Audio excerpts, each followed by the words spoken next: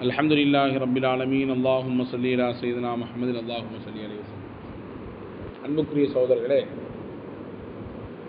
நம் எல்லோருக்கும் மனப்பாடமாக இருக்கக்கூடிய ஒரு சூறாக்களில் ஒன்றுதான் சூரத்துல் மாஊன்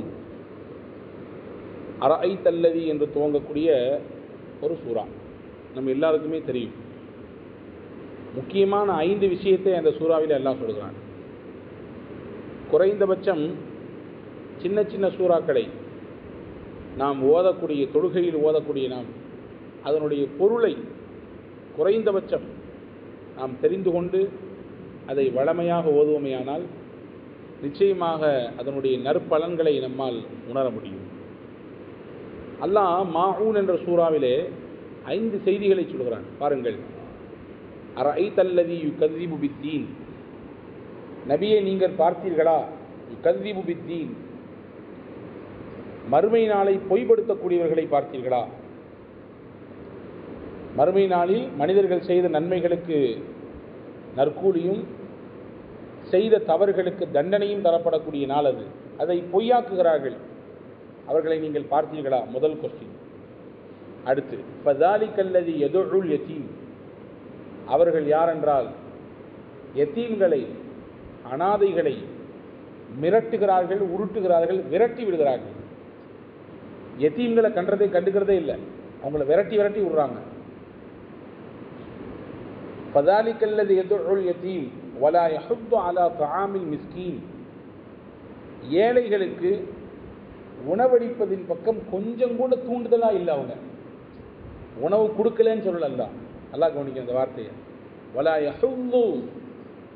அவர்கள் ஏழைகளுக்கு எளியவர்களுக்கு இல்லாதவர்களுக்கு உணவு கொடுப்பதின் பக்கம் ஒரு தூண்டுகோலாக கூட இல்லை அவர்கள். கொடுக்கறது இல்லைன்னு சொல்றது ஒரு ஒரு புறம் கொடுக்க தூண்ட கூட மாட்டேங்கிறாங்க அப்படின்ற மாதிரி. இது ரெண்டாவது. இப்போ வயலுள்ளில் முசல்லீன். தொழுகையாளிகளுக்கு கேடுதான். தொழக்கூடியவர்களுக்கு கேடுதான். அடுத்து இன்னொரு வார்த்தை இந்த வயல் என்ற வார்த்தைக்கு இன்னொரு அர்த்தம் இருக்கிறது.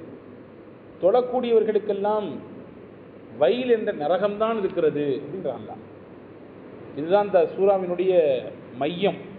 இந்த சூறாவினுடைய ஏழு ஆயத்தில் நாலாவது ஆயத்துக்கு ஏன் அல்லா சொல்கிறான் தொழுகையாளிகளுக்கு கேடு. இன்னொரு ஹதீஸ் ரசுல்லா சொல்லியிருக்காங்க இஃப்தாஹுல் ஜன்னதி அசலா சொர்க்கத்தினுடைய திறவுகோலே தொழுகை தான் ஹதீஸில் வேற ஒரு ஹதீஸில் வந்திருக்குது. சொர்க்கத்தின் திறவுகோலாக இருக்கக்கூடிய தொழுகையை ரசு அல்லா ஏன் வந்து தொழுகையாளிகளுக்கு கேடுன்னு சொல்கிறான் தொழுகாளி தொழுகையாளிகளுக்கெல்லாம் கேடுதான்.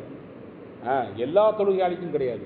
பின்னால் சொல்லக்கூடிய மூணு பண்பு எந்த தொழுகையாளிக்கு இருக்கிறதோ அவருக்கு தான் கேடு. இந்த இந்த ஆயத்துக்கு அடுத்து ஒரு மூணு ஆயத்து வருது. இந்த மூணு ஆயத்துகளையும் சொல்லப்படக்கூடிய தன்மை பண்புகள் எந்த தொழுகையாளி இடத்துல இருக்கிறதோ அவருக்குத்தான் கேடு. அல்லாஹ் சொல்றான் பாருங்கள் அடுத்து. அல்லதீனஹும் அன் சதாத்திஹிம் சஹூன். எந்த தொழுகையாளிகள்? தங்களுடைய தொழுகையை விட்டும் அவர்கள் ரொம்ப அலட்சியமா இருப்பாங்க தொழுகையில். தொழுகையில் ரொம்ப அலட்சியமா இருப்பாங்க.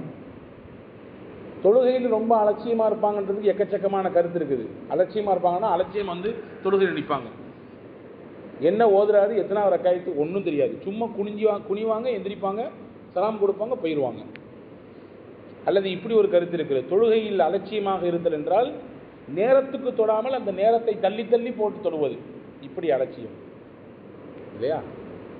தொழுகையில் என்ன நடக்கிறது என்பதை முழுமையாக புரிந்து கொள்ளாமல் தொழுகையில் என்ன செய்ய வேண்டும் என்பதை முழுமையாக உள்வாங்கிக் கொள்ளாமல் சும்மா ஏதோ பேருக்கு நானும் தொழுகையாளி நானும் தொழுகையாளி என்பதற்காக வேண்டி தொழுவார்கள். இப்படி அர்த்தம். அடுத்து சொல்கிறான் அல்லாஹ் ரெண்டாவது பண்பு. அல்லதீனகும் அன்சலாத்தி அல்லதீனகும் யுரா ஊன் அடுத்து ரெண்டாவது அல்லதீனகும் யுராவும் அவர்கள்தான் தாங்கள் செய்யக்கூடிய செயலை பிறருக்காக வேண்டி செய்வார்கள். பிறருக்காக வேண்டி காட்டுவதற்காக வேண்டி செய்வார்கள். பிறர் பார்த்து போற்றி புகழ வேண்டும் என்பதற்காக வேண்டியே செய்வார்கள். எந்த செயலை செய்வதாக இருந்தாலும் அங்கே முகஸ்துதி வந்துவிடுமையானால் பிறரை ஆர்வப்படுத்தணும் பிறரை ஊக்கப்படுத்தணும் அவங்களும் இந்த மாதிரியான விஷய காரியத்தை செய்யணுன்றதுக்காக வேண்டி காட்டுதல் இருக்க தப்பு இல்லை. ரசூல் சல்லா அலி செல்லமன் அவர்கள் தர்மத்தை மறைவாகவும் தந்திருக்கிறார்கள். சில நேரங்களில் வெளிப்படையாகவும் கொடுத்துருக்குறாங்க. வெளிப்படையாக கொடுத்த அந்த நாயகன் தான் சொன்னாங்க வழக்கை கொடுக்கும் தர்மத்தை இடக்கைக்கு தெரியாமல் கொடுப்பது தான் தர்மங்களிலேயே சிறந்த தர்மம்னாங்க. அந்த நாயகன் தான் சில சமயங்களில் வந்து பிறர் பார்க்கும் விதத்திலே கொடுத்துருக்குறாங்க. ஏன் அப்படி கொடுத்தாங்க? ஹதீஸில் என்ன வழக்கம் வருதுன்னா பிறரை ஆர்வம் மூட்டுவதற்காக அவங்களும் இந்த நற்காரியங்களில் பங்கெடுக்க வேண்டியதுக்காக வேண்டி காட்டுறது. அது தப்பில்லை.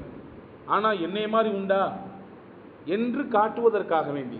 என்னை புகழ வேண்டும் என்னை பாராட்ட வேண்டும் என்னை தலையில் தூக்கி வைத்து ஆட வேண்டும் என்பதற்காக வேண்டி ஒருவர் செய்வல் ஒரு செயலை செய்தால் அதில் எந்த புண்ணியமும் கிடையாது.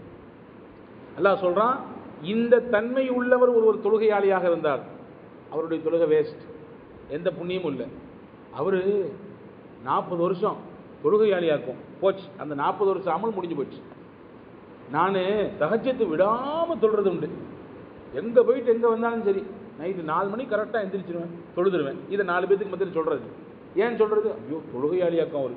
தகஜத்துலாம் இருக்கும் நாம் செய்யக்கூடிய காரியத்தை நமக்கு அதன் மூலம் பேர் கிடைக்க வேண்டும் புகழ் கிடைக்க வேண்டும் என்று சொல்லி காண்டிவிட்டால் முடிஞ்சு போனது அந்த காரியத்தினுடைய எந்த நன்மையும் கிடைக்காது நமக்கு.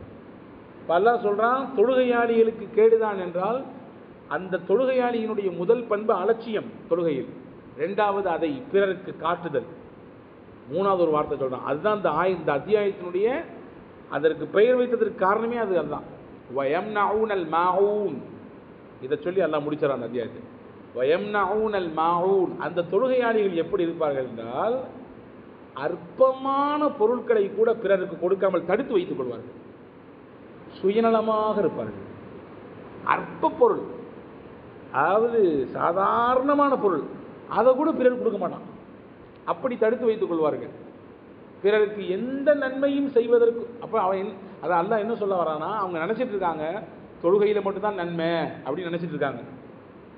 குனிஞ்சு குனிஞ்சு வேக வேகமாக எந்திரிச்சுட்டா நிறைய தொழுதுட்டா போச்சு நன்மை கிடச்சிரும் அவங்க தொழுது ஒரு புண்ணியமும் கிடையாது.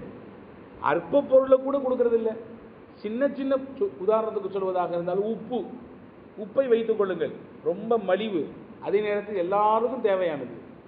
அதை கூட கேட்டால் கொடுக்க மாட்டான்.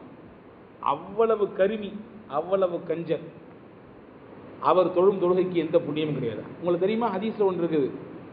பதுக்குதல் கூடாது தடுத்து வைக்கக்கூடாது விலையேற்றத்தை கருத்தில் கொண்டு இந்த பொருளை இப்போ விற்றா கிடைக்கிற லாபத்தை விட இன்னும் மூணு மாதம் கழிச்சு இதனுடைய டிமாண்ட் அதிகமாகும். அப்போ விற்றோன்னு சொன்னால் நாலு மடங்கு அஞ்சு மடங்கு லாபம் எடுக்கலாம். அப்படின்னு சொல்லி ஒருத்தர் தடுத்து வைத்தால் பொருளை வியாபாரத்தில் தடுத்து வைத்தால் ரசூல்லா சொன்னாங்க அது மாபாதக செயல் அப்படின்னாங்க. எந்த அளவுக்கு ஈக்குவல் ஆனதுன்னா வட்டிக்கு ஈக்குவல் ஆனதுனாங்க லஞ்சத்துக்கு ஈக்குவல் ஆனது. வட்டிங்கிறது என்ன பெரிய பாவம்? ஹதீஸ்ல வந்திருக்கிறது ஒருவர் வட்டி கொடுத்தால் அல்லாஹு அக்பர் தன்னுடைய தாயோடு புணர்வதற்கு சமம் நாங்கள் சொல்லாச்சு வட்டி கொடுக்கும் வாங்கும் வேலையை செய்தால். தாயோடு புணர்வ அதுக்கு ஈக்குவலான பாவம் எது தெரியுங்களா? தடுத்து வைத்தல். மக்கள் தேவைக்கு உரிய பொருளை கொடுக்காமல் வந்தால் கொடுத்து கொள்வோம் அதிகமான டிமாண்ட் ஏற்பட்டால் கொடுப்போம். என்ற எண்ணத்தில் தடுத்தால் என்றால் அவ்வளோ பெரிய பாவம் நாங்கள் சொன்னார். அப்- அதே மாதிரி தான் அல்லாஹ் அந்த அதிகாரி சொல்கிறான் பாருங்கள் ஏழாவது வசனத்தில் என்ன அற்பமான பொருளை கூட கொடுக்க மாட்டார்கள் பிறர் தனக்கு வேணும் தனக்கு வேணும் தனக்கு வேணும்னு சொல்லி சேர்த்தி சேர்த்தி சேர்த்து வைப்பார்கள். இந்த மூணு பண்புடைய தொழு நபர்கள் தான் அவர்கள் எவ்வளவு முட்டி போட்டு தொழுதாலும் அந்த தொழுகையின் மூலம் நன்மை கிடையாது. வயல். அவர்களுக்கு கேடுதான். என்னதான் அன்புக்குரிய சகோதரர்களே இந்த ஒரு அத்தியாயம் ஏழு வசனங்கள். ஏழுமே நம் வாழ்க்கையோடு தொடர்புடைய வசனங்கள். நான் எதுக்கு சொல்கிறேன்னா இந்த மாதிரி சின்ன சின்ன குட்டி குட்டி அத்தியாயங்களை எடுத்து அதனுடைய பொருளை மட்டும் நாம் படித்து வைத்துக் கொள்வோமே ஆனால் நாம் தொழுகிற பொழுது அந்த பொருள் நம்முடைய உள்ளத்தில் நின்று அதன் வழியாக நாம் தொழுகையில் இன்னும் ஈடுபாடோடு செய்வதற்கு வாய்ப்பு கிடைக்கும். வல்ல ரஹ்மான் அல்லா நாம் பேணி பின்பற்றி நடக்கக்கூடிய நல்ல பாக்கியத்தை உங்களுக்கும் எனக்கும் எல்லா மக்களுக்கும் அல்லா வழங்குவானாக.